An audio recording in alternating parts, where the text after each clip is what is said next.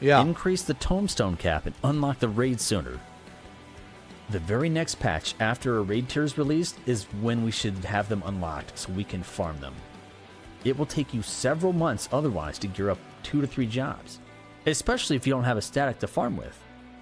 Waiting eight months for a tier to unlock is Yeah, that's a bit much, in my opinion. It should be like the patch after the catch up patch. So, like, they come out with the raid, and then three and a half, four months later, they come out with the catch up patch. And then, like, the next patch after that, they should just unlock the raid. Because nobody gives a about that raid anymore at that point, man.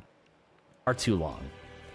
Raiders can be locked into a single role or job if there's an ultimate raid being released right after a Savage tier. Yeah. Additionally, we could have more raiders being able to flex multiple roles in Party Finder to help their friends and pugs clear content, while also not screwing them out of loot because they've already cleared for the week. Some jobs best in slot also requires a ton of tomestones. Yeah. So you're out weeks if you want to gear Yeah. up something else. I would love to see these restrictions relaxed a bit. You may even see more Party Finder groups as a result. Number 5.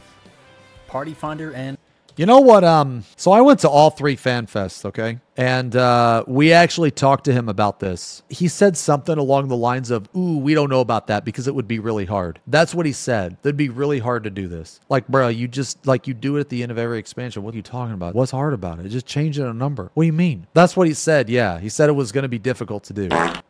Finder groups as a result. Number 5. Party Finder and Raid Tools. Cross DC Party Finder listings. I mentioned this before, but it's worth bringing up again. A master listing would be awesome. We Yeah, should be just region. access a central PF based on Honestly, this is one of the top things, man, in this video so far. our region. I'd also like to be able to join listings on alts if I've cleared on my main, and make it so it shows which role I've cleared a fight on. Whoa, whoa, I want to be able to what is that? communicate, be able to access a central PF based on our region. I'd also like to be able to join listings on alts if I've cleared on my main, Okay. and make it so it shows which role I've cleared a fight on. Yeah, that'd be nice. But but that goes back to the whole account thing, right? All of your characters are tied to the same account kind of thing. Basically, if you clear a fight on one character, the other character should be able to join a party even though that character hasn't cleared, but your account has cleared. I want to be able to communicate with a PF leader as much as possible without having to hop on different characters to prove anything. What if we had a native Holy shit, brother. This is third party. That's a mod, bro. raid simulator in game? 14 does not do a great job of preparing you for in game content. Imagine Stone Sky Sea, but you could pick your raid and mechanics you want to practice. This wouldn't be readily available on release of a new raid tier. Oh, but yeah. Perhaps add it to a later patch to help struggling players Yeah, this would be cool to be added later. You know, let's say a raid tier comes out when the next raid tier comes out, like, you know, P8 comes out, Abyssos, and then Anabaseios comes out. Maybe they'll update a training simulator for the previous raid tier. I think that would be a good idea. I also think that would be fair as well. And it would be up to the player if they wanted to use that or not. Like, no one is going to force you to use it. The simulator is 10 out of 10. The simulator has helped more people be good at this game or learn this game than Square Enix ever has. I'm going to tell you that right now. I'm going to say what we're all thinking. Thank God for the simulator. Thank you. Thank you, simulator creator. Whoever you are, thank you for making this because holy shit. You have saved so many people so much time in raids that it is unreal. And you deserve way more credit and way more praise than you probably get. So thank you. Xenosys Vex is now banned from all upcoming media tours. beat the and mechanics you want to practice. Stone Sky Sea, but you could pick your raid and mechanics you want to practice. This wouldn't be readily available on release of a new raid tier, but perhaps add it to a later patch to help struggling players beat the learning curve without having to feel any embarrassment failing in pugs with other players. This is the number one reason I hear why some people don't raid. They don't want to wipe the group. Yeah. Well, now they'd have a chance to practice on their own time to gain that Yo, real talk. How many people in here right now are embarrassed? Maybe not necessarily embarrassed. Maybe that's the wrong way to put it. But how many people are hesitant to raid because they don't want to make a fool of themselves in Party Finder? Wouldn't this make you feel much more confident if you could practice on your own terms or maybe with just some friends? Because, dude, people don't give a shit if you wipe in the simulator. Like, who cares? Just run it back. You know what I mean? Who cares? Just run that shit back to back to back to back. You know what I mean? This is another reason why I think the simulator is so good. One would need friends for that. You don't even need friends anymore, man. They got the trust system in the simulator because the creator of the simulator is GOAT status. That's why. This would help a crazy amount of people. that confidence they need to join a pug or learning party. If that's too much to ask, then what if we expanded the Hall of the Novice to have higher difficulty challenges? We could have the Hall of the Raider, which will teach raid I mean, they should make you do this. Like, you know what's crazy is that they make you do the story before you do raids. Yo, how about making them do the Hall of Novice before they do a raid, bro? Right when you hit like level 20 or whenever the first dungeon is, you should have to do this. And then you should have to do it again later. But again, you should only have to do this one time because like they should make this account wide. You know what I mean? So this is like an idea on top of an idea on top of an idea. mechanics, tank swaps, mitigation checks, defensive cooldowns, debuff management, boss positioning, raid awareness of other allies, and then maybe a Hall of the Savage Champion after you graduate from that one with even more intense scenarios. Or we could be sneaky and teach raid mechanics through the mini games in the Gold Saucer. There's definitely a need to have more training tools to help aspiring raiders tackle challenging content. Number 4. The chat window. My main problem with the chat window has to do with its menus. Often, when you receive a tell and try to respond or invite them to your party, you're instead met with an error. If you have an option in Okay, this friends list and basically the UI and how you communicate with other players in game is so obnoxious. It is so bad. menu, it should just work. You shouldn't have to open up your social tab and drill down to your friends list or cross-world link shell for the same result just because it's broken in chat.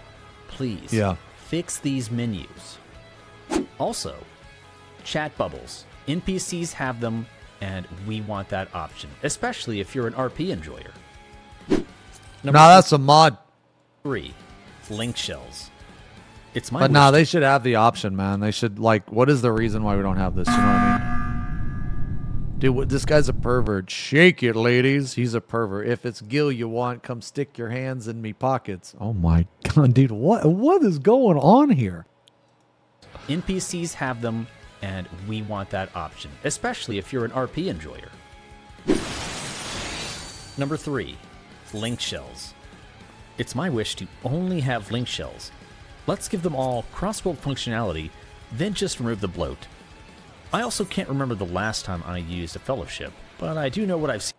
How many of you know what a fellowship is? Okay, correction. How many don't know? Literally never used it. Me, kinky roleplay, forgot they existed. What is a fellowship? Okay, so if you guys are genuinely questioning what is a fellowship, a fellowship is a version of a link shell, but more shitty, I, I guess. 18 plus for kinky roleplay. Damn, look at this one. Just want to be part of something. Damn. Mochi's Playhouse.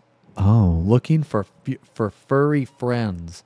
We love all the Makos. Uh, okay, so I was gonna say that fellowships they had they don't really mean anything. Like they literally mean nothing, and a, a vast majority of people have probably forgotten that they existed or don't know of their existence. But apparently, what is happening to Twitch with Meta and Butthole streams is now happening to fellowships because fellowships have been abandoned for so long by Square Enix they don't that they don't see all of the degeneracy in here. Seen when perusing the Finder. I'd say remove them Fellowship Master, dude, I can already see it. Dick them down. if they don't, but I do know what I've seen when perusing the Finder. I'd say remove them if they don't really serve much of a purpose. Nah, this or- remove just remove fellowships, man. They're they literally serve no purpose in the game. Or just give those features to existing link shells. We could simply merge all of these features together into one cohesive communication tool.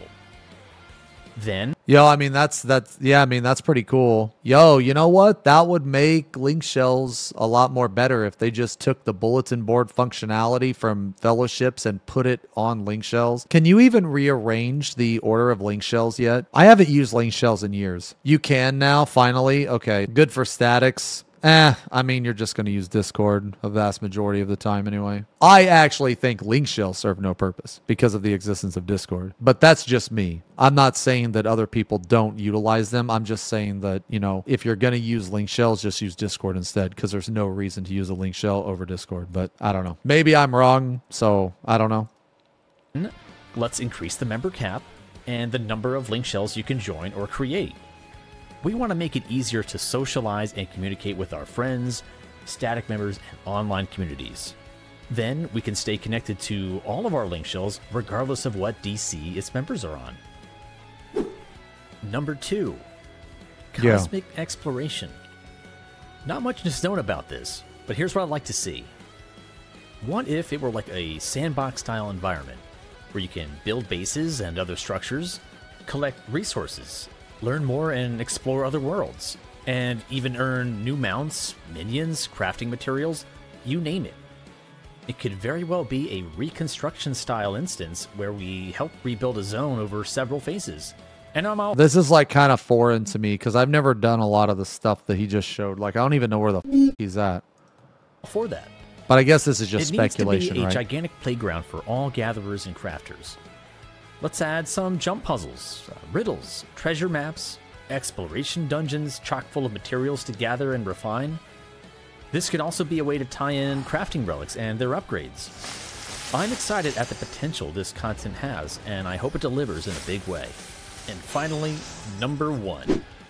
I can't really speak on cosmic exploration because I'm not the most excited about it. Like, I'm glad they're trying new stuff. And for those of you that are excited, I'm glad you're excited. I'm glad they're trying to put it in the game. But I don't really have an opinion on it. Like, they can, uh, like, basically, I tried Island Sanctuary because I assume that it's going to be like that type of content. I got all my shit up all the way. I didn't really like it. I thought it was actually designed kind of poorly. And the reason why I say that is because eventually you didn't even need to craft properly. You didn't even need to really play Island Sanctuary because eventually you could just get all of your, you could get your guys to do everything for you in the first place. I also thought it took way too long. And I thought the, I thought the crafting part and everything was just convoluted for no reason. There was no reason to make anything else than the first two items in the game because I can 100% tell you that I never made anything else besides that chair and the sand. Those are the only two things I needed. I saw this whole spreadsheet of how to min max and all that. I took one look at that spreadsheet and was like, nope, I'm just making the chair, I'm making the sand, and that's it. And I that's all I did. I crafted the same two things over and over and over again. And I did everything almost just as fast as other people. I don't know. I just felt like it was designed poorly. Like I wasn't satisfied at all. Uh, I felt like I kind of wasted my time. And it's kind of ironic that I felt that way. Once I got the ability to basically have people have like the caretakers take care of everything, I would just go in, make sure all my work or like I'd fill out my work orders, collect all the shit, and then I'd be done. I don't know. I think Cosmic Exploration is that type of content, but hopefully it's better than Island Sanctuary because I wasn't the biggest fan of Island Sanctuary. But I know some people were. For those of you that were, I'm glad you enjoyed it, but I'm also very glad they're discontinuing it. uh, hopefully, Cosmic Exploration will be better. If you know me, you probably guessed it. My biggest wish is for the friends list. I can't stand the friends list. Yeah, it's pretty it takes bad. Forever to load, and Yeah. anytime you hit Yeah. any other menu, it Yeah. closes it, causing you to reload and wait for Yeah. your whole list to repopulate. Yeah. Not only that, but it's not clear who is truly online. Is there a reason why it's so bad? Like, besides spaghetti code? Like, does anyone have an actual reason? Like, did they ever say an actual reason? Like, it has to be something like that, right? Like, either either bad coding or old code, or there has to be something like that, right? But does anyone actually know? Oh, wait, did they actually give that reason? that it's the code? Oh, they did? Okay, I don't remember that actually. Okay, okay, okay. But uh the friends list definitely needs to be reworked. You have to click on a small icon next to your friends' names to see if they're actually on. Why doesn't it just know this? We need a modern friends list, one that instantly loads and doesn't care what server or DC people are on. We should also make it easier to sort through your friends too, and let's include a notes field. People change their names, and I can't keep track of that. It would be nice to make notes. Dude, you know what's dude, you know what's crazy? I thought this notes field was actually in the game. I thought the notes field was already in the game. I don't use my friends list, man. so you know it's someone's alt or someone you made in a raid that was awesome to play with. Let us Bro, you guys think Dewey's coming back? I'm gonna say he gonna come back for Dawntrail. Who's Dewey? I don't know. Someone that I've been online in 210 days. A long time, brother. sort and filter by last seen online and make it much easier to remove and add people without repopulating the list every single time. Also, blocking and unfriending should be a two-way removal system. Wait, if you block someone, they're still on your friends list? Are you serious? What in the That is actually ridiculous. Wow. So people don't feel awkward. What? That's actually insane. Dude, some of the mentalities that come from JP are just actually dumb. That is ridiculous. I don't want to be seen on someone else's list if I remove them. It's Yeah. awkward. And I don't want them to see me or to know that I'm online. Yeah. If I remove them, my name should be removed from their list as well. Yeah. Yeah, yeah, yeah. How cool is it when you hop into a dungeon and you randomly run into a buddy you didn't even know was online? Well, WoW has a great feature where you can see what your friends are up to in game and even join their groups if they're queued up for something. Well, your friend needs a fourth man for expert. Oh, that's pretty sick actually. Well, let's jump in and help. Oh, they need some Oh, wait a minute. Okay. Yo, that'd be pretty cool. Yeah. bodies to farm EX trials or do some Savage prog. Hunt for some glamours, PvP. You use Quick Join to sync up with your buddies. I think we could benefit from this feature, and it could be extended to Duty Finder, Party Finder, pretty much any instance content. You can see what your friends are up to and just join them. It'll keep us more connected. We should also have the ability to send friend requests if they're offline. It could just be a pending request. Or we could Oh, man. This video is making me realize how much I don't use the friends list. I don't use the friends list at all, dude. I don't even invite people. You know what I do? I throw up the party finder, put in private, and say, hey, just join this shit. I don't invite people to shit. If you want to play with me, no, no, no, no, no. I'm not inviting you. You're just a join PF. The password is 11111. if they're offline. It could just be a pending request.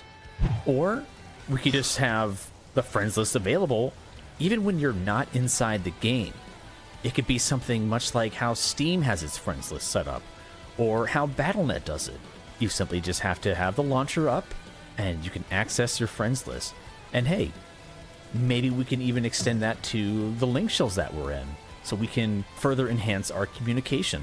We I mean, this is a really cool idea. Don't get me wrong. This is really cool. I just, I don't see this happening. I think that all of this so far is awesome. I want it to happen. I'm just at the same time, man, I can't help but be realistic. Kind of already have a version of this with a companion app, but it only communicates from app to app with no messages going to friends in game. It's also mobile only, so there's no native desktop chat client. There seems to be a framework for a chat client. We just need to be able to talk to our friends, free companies, and link shells in game from it. Additionally, having the sorting features, notes, and seeing what your friends are doing would be a godsend. This has potential to strengthen our community and to more easily connect with our friends who may not use Discord or hang out on Twitch.